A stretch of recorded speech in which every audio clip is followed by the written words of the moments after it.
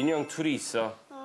응? 인형은 왜? 요즘 윌리엄 벤틀리도 엄마, 아빠 왜 다른지 뭐 남자, 여자 이런 얘기 많이 하다 보니 딱 이 시기에 성교육 시작하기 딱 좋은 것 같은데요. 저도 어렸을 때부터 우리 어머니한테 성교육 받았거든요. 그 호주 같은 경우는 위무적이라 초등학생들은 무조건 성교육 받아요. 자, 다리 사이에 뭐 있어? 다리 사이 고추. 고추, 그치? 고추 이 친구는 고추 없어.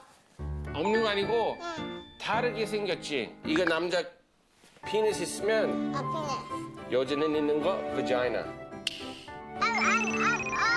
아, 엄마는 엄마 이거 엄마야 엄마? 아빠야, 아빠 고추 있잖아, 고추. 엄마 엄마는 penis. 어딨어? 여기. 아, 아, 아, 애기는? 애기는 어딨어? 애기? 애기? 엄마, 애기 어딨어? 애기? 엄마 뱃속 안에 있었지.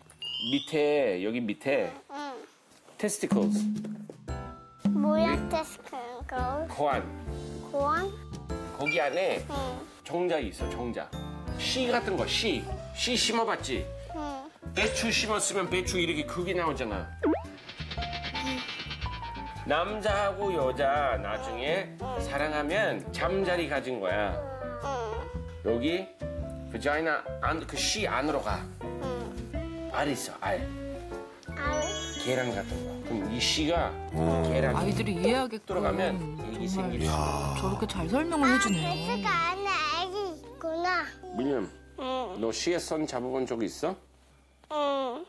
그럼 안아준 친구 있어? 아, 친구가 나 안아준 친구 있어. 지금 아빠 얘기 이 아빠 얘기 잘 들어. 이 얘기는 손 잡아도 돼? 이렇게 했지. 근데 너 싫어 하면 그럼 아빠 네손 잡아도 돼? 안 되지.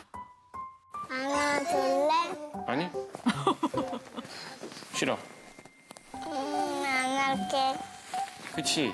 이렇게 하는 거야. 뽀뽀도 마찬가지야. 알려주지 자기 않으면 몸 아이들은 소중한 모를 만큼 수 있어. 다른 사람 몸도 소중한 거야. 알았지? 응.